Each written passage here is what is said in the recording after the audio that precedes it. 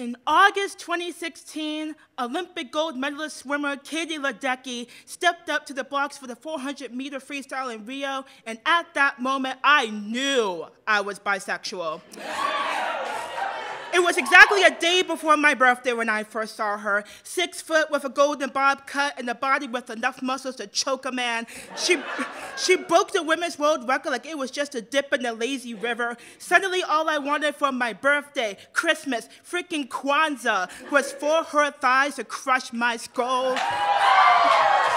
Not even all the water in that damn pool could have quenched my thirst. I'm just glad I deleted my Wattpad account before that night, because damn, I had thoughts. I was 18 years old, cuffed jeans, flannel around the race with a rainbow wristband, and the last thing I expected was to get a hard on watching people on TV splash around for a medal, but such is life.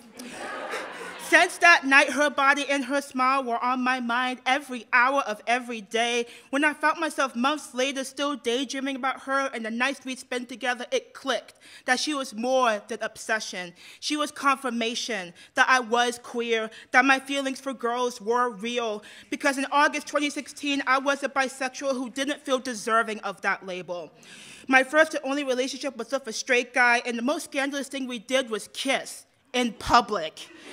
Relationships like mine were straight passing. What the hell even is a straight passing bisexual? That's like saying I'm a smart passing college student, or that, or that there are red passing smurfs. I grew up seeing tweets that said bi people in straight passing relationships don't belong at Pride, as if the B in freaking LGBT only matters when we pass as gay. I spent years believing I was only straight until proven queer because I've never dated a girl to the queers of social media, being bi meant knowing what sex was like in multiple genders, what sex was like at all. Like bisexual and sexually active is the same thing. Just kissing my then boyfriend made my heart shatter. My best friend in the eighth grade gave me butterflies and longing. That wasn't enough to really call myself bi. So I wore the cuffed jeans, flannel around the waist, the rainbow wristband, because queerness was all about visibility. If I at least had to look, I could prove myself. The internet made me doubt my own love stories.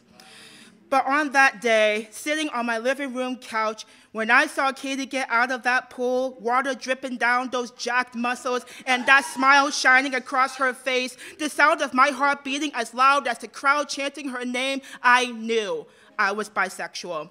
I knew what I felt for her was the same as with my best friend, the same as with my first partner, and that was just enough.